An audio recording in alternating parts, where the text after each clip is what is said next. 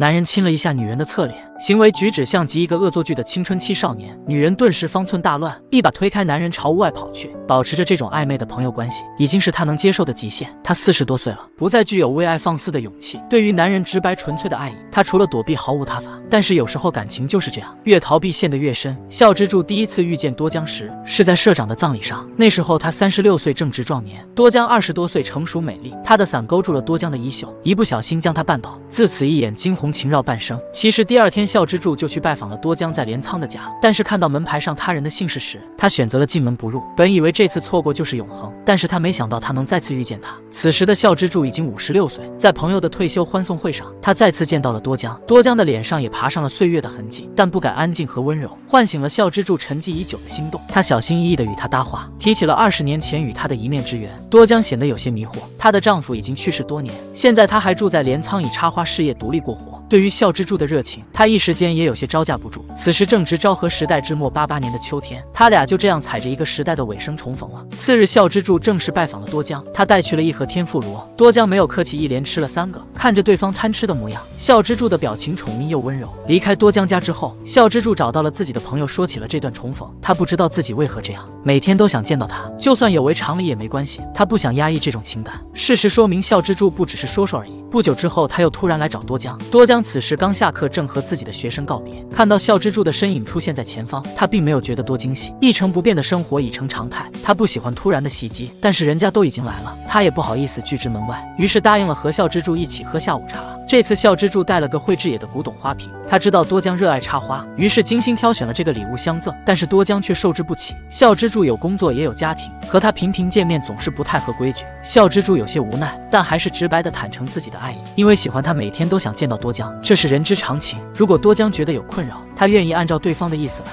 轻松都好，什么都好。但是他希望多江能一直和自己交往下去。多江无法在这番恳切的言辞下拒绝，也就默认了和他继续来往。之后，孝之助果然言出必行。每次去多江家都会先打个电话知会一声。然而天有不测风云，孝之助在剃胡子时突发心绞痛，这是一种随时可能带走生命的急性病，但也来去皆匆匆。就这样，孝之助第一次耽误了和多江的约会。多江看着准备好的晚饭，说不失落那是假的。孝之助为了补偿多江，主动提出下周六和他一起去东京。东京的高楼拔地而起，处处充满着现代化的气息。孝之助看着这一切颇为感慨。他想起了自己的青春时代，也是将所学的知识贡献给了国家。那光速发展的二十年，他没有一刻为自己而活。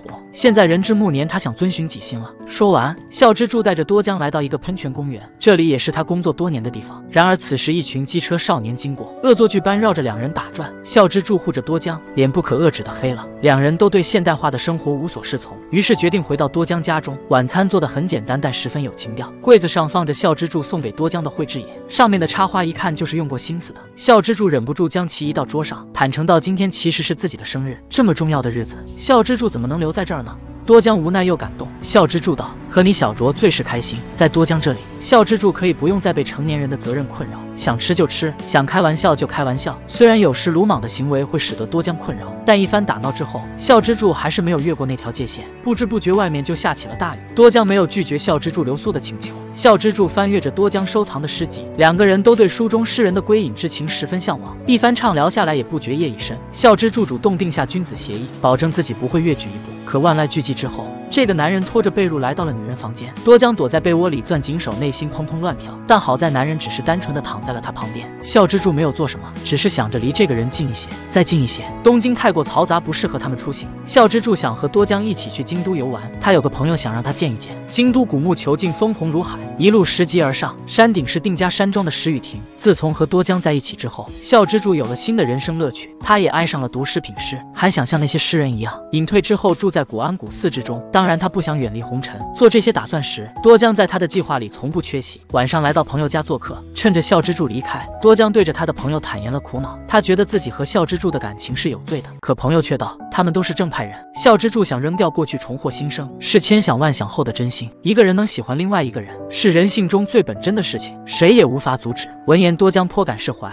临近饭毕时，笑之助忽然郑重地对朋友说：“多江就拜托你了。”这话看似是随口的嘱托，很久之后，多江再回想起来时，才觉意味沉重如山海。诗人西行住的安远处深山，抬眼望去，令人心旷神怡。多江站在山顶，对此处表现出眷恋之意。笑之助看着他微笑的侧脸，当即下定了一个决心，他打算在这里建一座庵，和多江一起安度晚年。这话听起来就有些孩子气，多江全当对方在开玩笑了。最近建筑行业也不太景气，孝之助年事已高，对于合作伙伴的要求。也颇感有心无力，操劳过度之后，老毛病果不其然又犯了。孝之助打电话给家里，安抚妻儿不必过于担心，也不必来探病。随后他打电话给多江，希望他能来看自己，并带上西行的诗集。多江如约而至，没想到遇见了孝之助那突然到来的妻子。妻子与女友的会面，怎么看都有些修罗场的意味。多江感觉到一阵难堪。也是，他一个连惊喜都不喜欢的人，又怎么能坦然面对这一幕？多江回到了镰仓，回归了以往的生活。不知不觉就到了除夕，处处溢满了欢心。多江来到菜市场买鱼。一抬眼就望见了来找他的孝之主，他戴着红色围巾，气色看起来好了不少。既然是两个人，那年夜饭也不必准备太多。吃饱喝足之后，多江开始收拾旧物。笑之助悄悄跑到他身后恶作剧，箱子猝不及防就摔在了地上，里面的旧物也洒了出来。一条白色的围巾引起了笑之助的注意。他记得二十年前的某一天，多江就是带着这条围巾与他见面。这不过是一件寻常的小事，却被笑之助记得如此深刻。多江有些触动，拿来纸笔抄诗静心。笑之助见状，也抽过一张纸，随意默写。起一首小诗，他的字迹自然是比不过多江，因此在多江凑上来观看时，他把抄好的诗揉作了一团，想要扔掉，可多江却阻止了他。他将他的习作视如珍宝，碾平整好之后放置在桌上，接着把那绘制野瓷瓶中的花取出，放置在水杯里，最后他将瓷瓶重新打包好，原封不动的还给孝之主。或许他们是该分手了，他有他的家庭，他有他的自尊，人活在世界上不能那么自私。可笑之助却觉得，一定要让他在家庭和多江中做出选择的话，他会选择后者。他活到现在忘记了自我。所以，他今后想要忠于自己，和多江两个人一起生活下去。笑之助下定了一个决心，等他从西班牙出差回来之后，他就和多江开始全新的生活。新年的钟声响起，似是呼应笑之助的决心。男人将女人温柔地拥入怀中，无声地许下诺言。这是笑之助最后一次工作，然而他却显得有些心不在焉。西班牙的异域风情让他兴致乏乏，能让他期待的只有即将和多江一起度过的余生。经过一家首饰店时，笑之助看上了一块代表永恒之爱的黄色宝石，他二话不说就买了下来，想要。送给多江，然而下一秒，他的心绞痛再一次猝不及防的发作。笑之助靠着墙蜷缩成一团，那块象征着真爱的宝石，也因为他没有拿稳，滑落到了地上，摔成了两半。回家之后，妻子和孝之助说起给儿子换房的事，他主意的是施雨婷那块地皮，可孝之助却表示了反对。那块地是他想用来建养老住所的，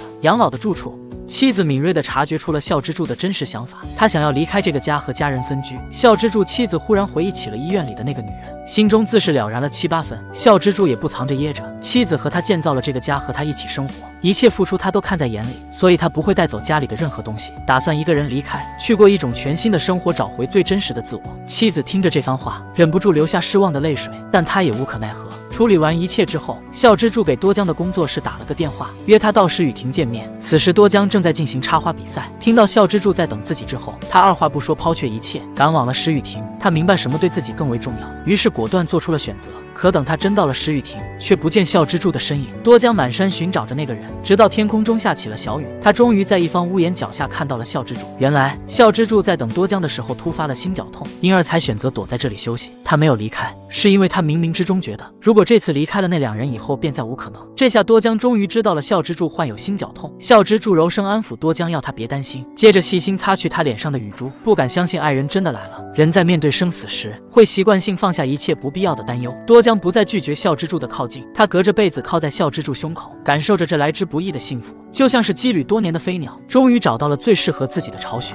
然而幸福的日子并不长久。那年的二月中旬，孝之助就去世了，死因是缺血性心力衰竭。孝之助妻子来找多江，给了他一笔钱，美其名曰是感谢多江对孝之助的照顾，实则是女人之间的较量。多江有理婉拒，他不能收下这笔钱，这是对他和孝之助爱情的亵渎。没想到此举越发激怒孝之助的妻子，她看到了柜子里的绘制也，明白这是丈夫送来的，顿时气不打一处来，将其狠狠摔碎在院落中，接着无力的哭。倒在地，她知道自己输了，输得很彻底。孝之助临死前交代朋友好好照顾多江，朋友也不负所托，还带给了多江一个文件，里面是孝之助绘制的房屋建筑图。多江一眼就看出这是笑之助说过的，两人一起隐居石柱的安。本以为那只是兴致突来的玩笑话，没想到对方在那一刻就奉上了真心。多江将一张张图细细翻看，不知不觉已泪如雨下。夜深之后，多江看着寂静的院落，又开始思念起笑之助。他还记得那一天，笑之助打算出门，刚一踏下阶梯，忽然就摔倒在了地上，他的。心绞痛又犯了。多江慌慌张张从他怀里掏出药品，倒出药给他服下。他正打算去打电话给医生，可下一秒笑之助忽然就失去了意识。从生到死不过一瞬间，多江却是从天堂坠入地狱。